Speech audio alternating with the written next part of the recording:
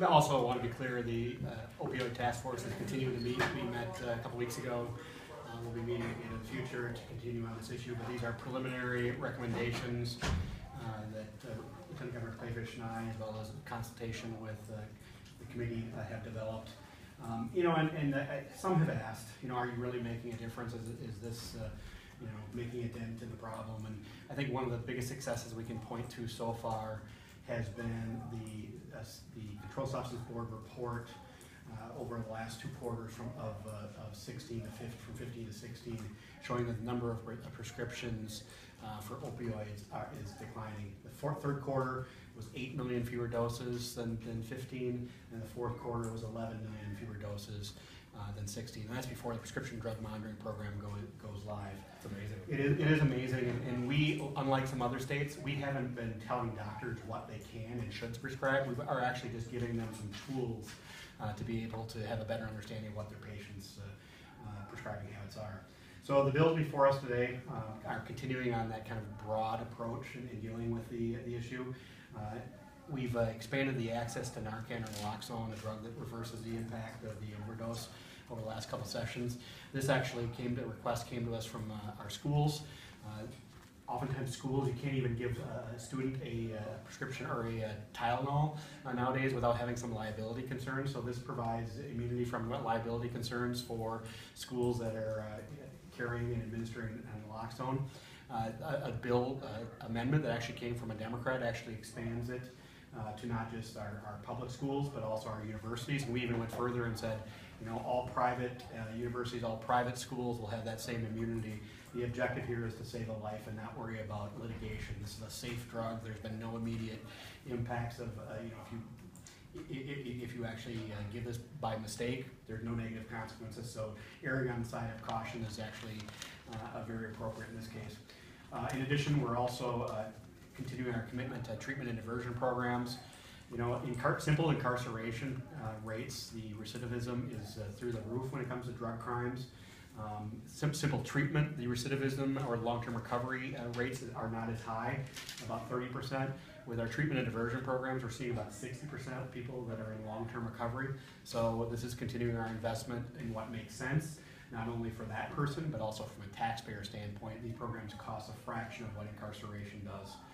Um, in addition, we're also, uh, we spend a lot of money. We haven't thrown a, uh, our money at this problem. We're actually doing it, I think, in a, in a comprehensive approach that makes sense. But we do spend dollars on, on treatment in our state and on other, other expenses related to it.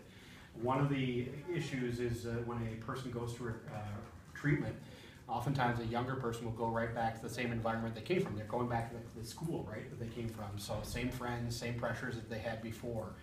Uh, There's been a successful uh, uh, treatment program in other states called a recovery school, uh, where you're, you're continuing the post-treatment services, uh, counseling, etc., as well as also um, you are uh, surrounding yourself with other, other people that are in, in, in, in recovery, and that proves to be beneficial. So uh, we are allowing for a RFP for a charter school, which would be, is this, with just state funding, uh, to uh, co- come put a bid in and uh, provide uh, continued services and the, the education that the, the student needs to, you know, again, assist them in long-term recovery to become hopefully long-term uh, tax-paying citizens of our, of our state. That is our, in, in, uh, in recovery, and that is our goal.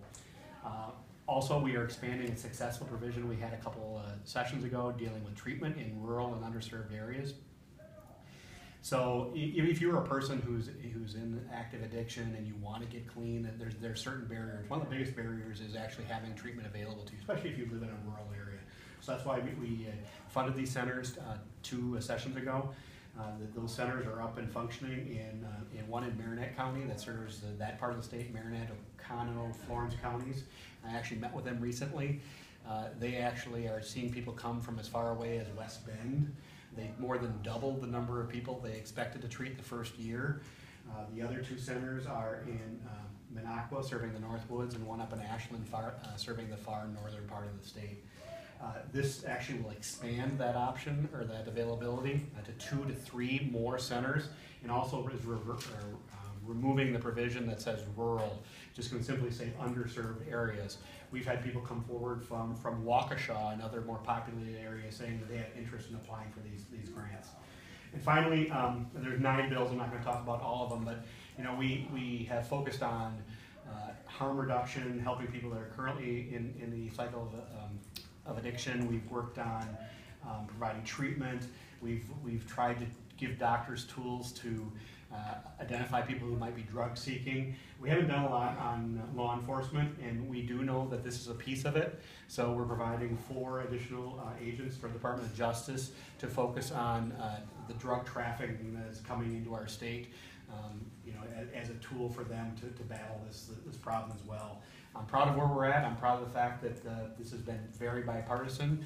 Uh, uh, there's seven amendments on these bills that are for us before us today. Three of them that have come from Democrats. I believe there's going to be a fourth am- uh, offered on the floor from Democrats that we're going to accept.